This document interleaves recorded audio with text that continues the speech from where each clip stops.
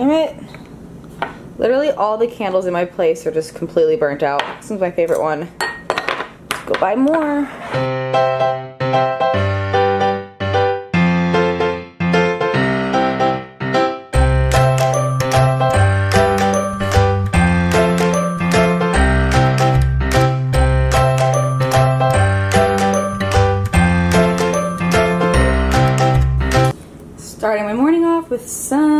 Carb waffles and I put some peanut butter on top, almond butter technically, and I found a candle that works and devoured.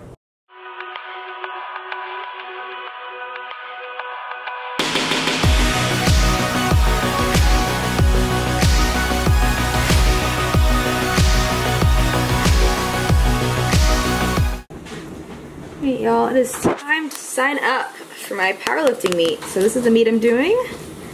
It is on January 22nd and this is the address if you guys want to go and uh, support me and yell for me when I hopefully make all my lifts.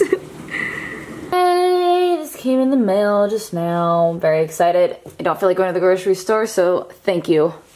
Alright guys, we just pulled up to the gym. It is about 4.39 right now. So I had a very boring day and I didn't film any of it, but I actually needed it. I needed this day to myself and I literally sat at my computer the whole entire day from like 9 a.m. till now. till like till like half an hour ago.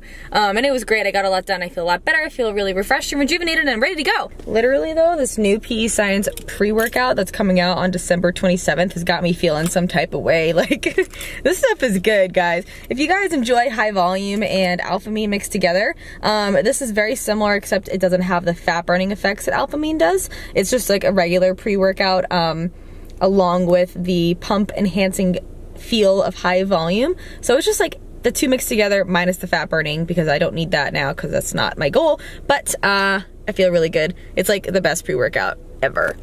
E ever. Super Christmassy feels here at Gold's Gym today. What's going on everybody? Here is some footage from my workout from today. So since uh, Vlogmas started, since December started, I have had a lot of creative juices flowing and I've been able to pick up the camera every single day and vlog and like not worry about it. But because of that, I've gotten like slightly backed up on footage. So this footage is from like a week ago and I'm not editing my videos too slowly or anything. I just have a lot of footage and it's just kind of backed up. That's all. So I've been putting out a video every single day trying to get caught up and everything and I'm still a little bit behind. So what I'm going to do is is also going to video you guys video later in the morning. Tonight, so be on the lookout for that one, just to get you guys a little bit caught up to real time. I like for you guys to see what I'm doing um, as it's happening, as opposed to like here's what I did a week ago. And I hope you guys are really having a great holiday uh, season, a, like a nice December. Um, I hope finals are wrapping up and everything, especially for everybody who's in school and you guys are kind of winding down for the end of the year. There is one more thing that I've been uh, meaning to say that I love that YouTube has been able to allow us now to like the comments that you guys post so I can actually press the like button and it shows that I've liked it as opposed to me just being a part of the thumbs up that other people give on comments. So I think that's really great. If you guys see me liking your post, it means I've acknowledged it. So thank you. It's popping up in the recommended videos, things like that. So it does help us YouTubers out if you do press that thumbs up button before you leave.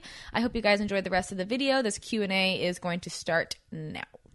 What's up, y'all? It is the end of the night and I just posted on my Snapchat that we're gonna do a little bit of a Q&A to finish off the video. Look at all the questions.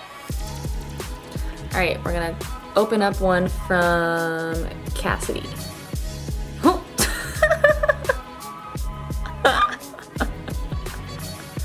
that wasn't a question, but that was funny. To know if there's a way to like don't overeat because I find that I eat a lot and um, because usually I crave a lot of chips and it's like too too way too hard to meal prep for me. I don't know and I don't know how to count my macros. I'm starting. Are you sleeping? Are you sleeping? Oh, I was, I'm filming a Q&A. I wanted to do it before you were like completely passed out. Oh, good, okay. she wanted to know how to not overeat and she craves chips and it's tough for her to meal prep and this is like the number one like overall encompassing it's just hard. I would recommend getting my macro ebook. It literally explains everything that I would normally explain to you in a question. Honestly just making it a priority. I know it sounds difficult and hard. Anything can be difficult and hard but if you really want to make it a priority and make it a lifestyle change focus on it so hard that you just want it so badly and you can't think of anything else except for what's like you don't consider what's holding you back from uh, making that lifestyle change. Do you have any guilty pleasures? Chips and salsa, guilty pleasure. Ice cream, cookies, all guilty pleasures. Quick question. So, for people that are starting out their journeys or lifestyle changes, when is it acceptable for cheat meals or stuff like that? Yeah, that's actually a really good question. Um, when's it acceptable for like a cheat meal or like a untracked meal or whatever when you're just starting out?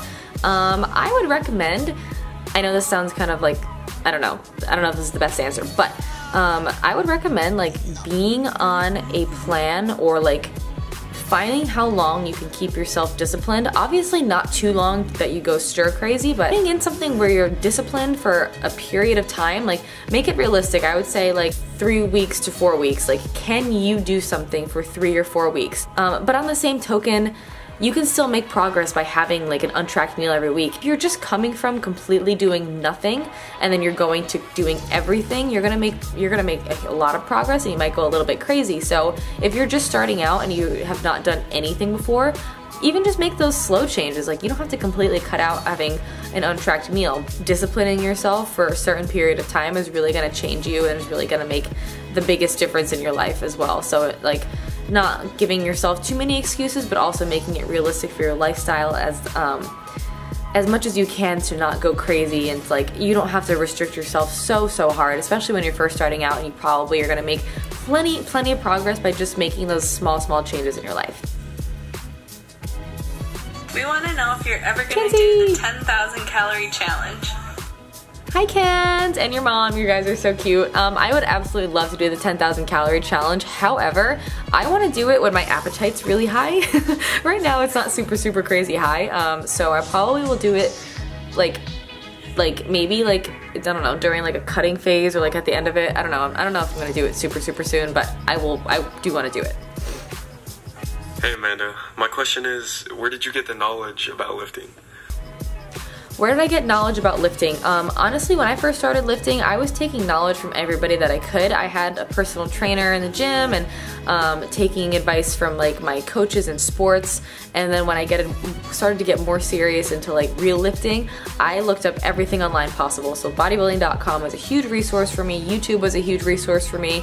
I would look into people like Matt Ogus, Lane Norton, and Omar Isuf if you're looking for like straight up informational stuff that's really, really good. And uh, sorry, I'm in my robe, nice and cozy. So cute. I was just wondering, do you and like a lot of other YouTubers have all your notifications on, or do you get bombarded by Instagram? that was a good question. I've never got asked that before. Um, I don't have my notifications on, so like all these Snapchats I don't see unless I open the app. And for Instagram, I have notifications on for people that I follow. So if Emily Hayden likes my photo, I can see it because I follow her. So I don't have them on for everybody because that would just literally be insane. It would be, oof. Hi, Amanda. What advice would you give to other nursing students that are also really interested in fitness since you went through the same thing? That was a good question. Um, I struggled with that so long in nursing school. I was like, how can I meld these two together? Um, I would recommend just like keeping an open mind about what you can possibly do. Um, continuously ask people in your like as your professors or people in your clinicals or other nurses um, see what other people have done what avenues you can take even just like researching different things that you can do. Like i remember googling one time in school like how to like fitness nurse like how do you do something like that? And i figured out um, there's lots of different things that you can do that specify that aren't super specific with fitness, but you can definitely do plenty of things. Like I took all my nursing knowledge, um, everything, anatomy, physiology, all of those classes. That helped me be an online coach a lot more easily. Obviously, um, you have to have knowledge of lifting and nutrition as well. So if you don't have any of that, I would recommend like taking an extra class or something about that. But that helped me a lot in terms of understanding like how the body worked. Okay, so I've been having a lot of uh, joint pain in like my knees and stuff after a leg day. Do you have any suggestions to help me avoid this problem? Um, avoiding problems with knee or joint pain after training. Um, this is like the number one thing that I always just say, please go to a doctor and see something about and see someone about that. Um, if you're having like specific pain, I nobody who isn't a doctor or someone who specializes in that can diagnose you and figure out exactly what recommendations to give you without analyzing you and assessing you first. Um, that's what I learned in nursing school. Like I'll never diagnose somebody unless I know exactly what's going on and unless I'm completely qualified to do that. So I would please go see somebody.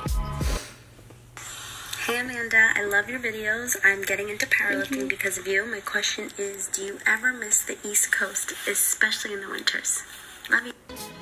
No.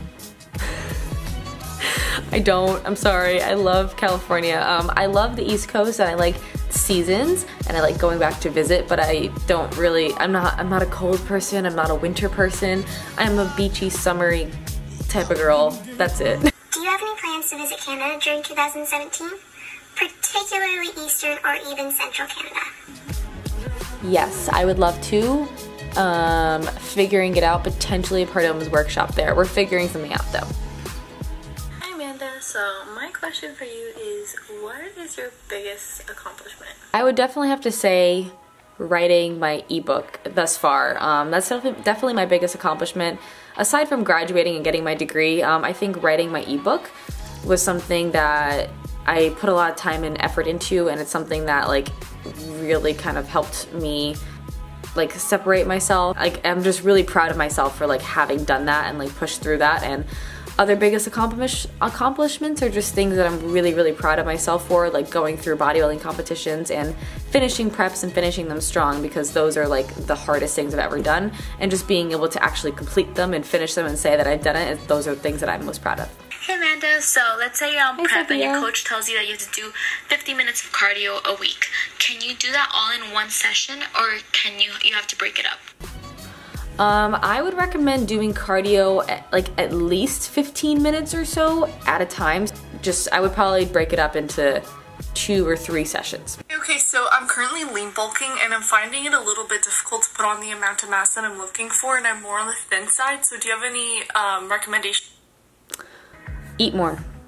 If you're trying to put on mass and you're struggling, eat more and keep lifting.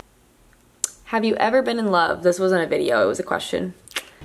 Um, I would say no. I never have. Never been in love. I've had boyfriends in the past, um, two long-term boyfriends. Last one was three years ago, and looking back, I wouldn't say that like I was in love. Um, so no, never experienced that. How do you feel about getting fake boobs? And I've asked, I've answered this question before in a Q&A. Um, I have no desire to get surgery right now, but I don't, I'm not like putting it out of the question, but I'm not necessarily like super, uh, I've never, I've never really had that like desire to get them. Um, like maybe, but I don't really, I don't really care. So I'm not gonna jump into a surgery, major surgery just because, you know, I don't know. I don't I don't mind I don't mind my size. They're, they're fine with me. what is my background? I am 75% Italian and 25% Irish. Alrighty guys, that's going to wrap up this Q&A. That's gonna wrap up this video. Thank you guys so much for watching and I'll catch you in the next one.